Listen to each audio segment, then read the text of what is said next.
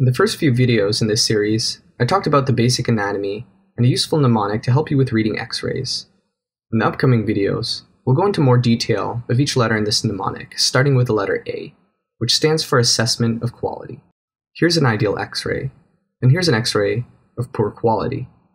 These are obviously not the same patients, but you could tell that the one to the right is a little more difficult to read. The patient is rotated, there are cables in the field, there's poor inspiration, so on and so forth.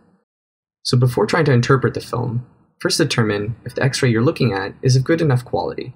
The last thing you want to do is to make a conclusion on some bad data. The first thing you want to do when assessing the quality of an x-ray is recognizing what type of chest x-ray you're looking at.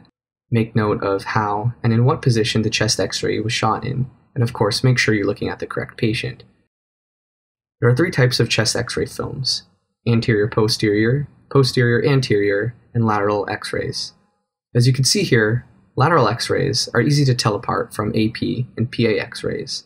This one is obviously shot from the side, while the other ones are shot perpendicular to the patient, either facing or looking away from the x-ray machine.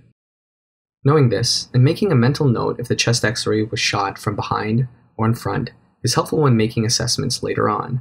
In general, the posterior anterior view is superior in quality to the anterior posterior view.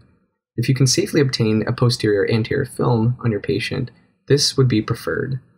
That's because posterior anterior x-rays are usually obtained on ambulatory patients who are able to position themselves, therefore giving the x-ray technician more flexibility.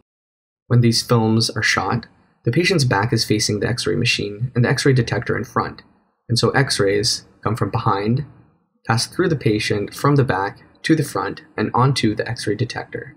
And again, this extra space and flexibility in a posterior anterior film allows the x-ray technician more freedom and mobility to position the patient as needed without any external distractions.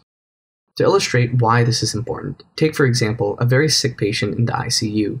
These patients don't have the ability to walk or stand, and so they stay in bed and a portable machine is brought to them. The x-ray detector is slipped behind their back the x-ray machine is placed in front.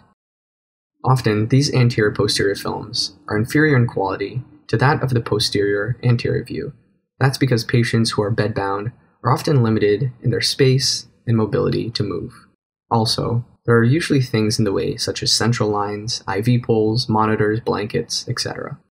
In a portable x-ray, it is more difficult to position the patient who may be hunched over in bed and so important aspects of X-ray quality, such as position, rotation, may be difficult to obtain versus an ambulatory patient who is able to freely stand up without many distracting elements surrounding them. All of these make it more difficult to maneuver the patient and overall gives the X-ray technician a potentially limited study. The last reason I'll mention for why it's important to know what type of film you're looking at is if a film is shot anterior posterior, things in the body that are more anterior, such as the heart, may appear larger compared to the same film shot posterior anterior. If you think of the X-ray as casting a shadow, this will make more sense. The place you choose to shoot the X-ray is like a light source, and the X-ray will then capture the shadow on the film. In this diagram, if you're shooting a film from front to back, the film that is captured will have a larger shadow of the cardiac silhouette, because the heart sits more anterior in the body. If you shoot a posterior anterior film, the cardiac silhouette will appear smaller, because of the position of the film was shot compared to the location of the structure, in this case the heart. Therefore, heart size is most accurate when assessed on a PA film. This is important when knowing the size of the heart is essential, such as in the case of a pericardial effusion or other cases of cardiomegaly you may see on chest x-ray. In summary, we talked about the three different views you could obtain when getting a chest x-ray. There's the posterior anterior view, which often is obtained alongside a lateral view, given the increased amount of mobility that ambulatory patients have. The PA and lateral view are preferred if you could obtain it in your patient.